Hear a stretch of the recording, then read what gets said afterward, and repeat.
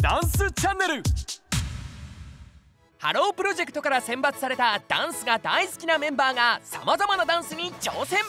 第9弾では日本が世界に誇るダンサーカイトを迎えポップダンスに挑戦。